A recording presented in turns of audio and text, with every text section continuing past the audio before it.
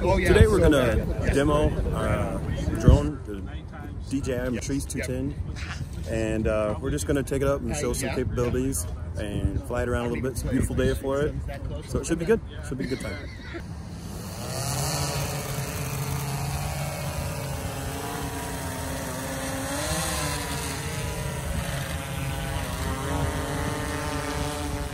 Is it hard to fly? You know, this thing almost flies itself. It's really easy to fly, but there's some technical stuff in it.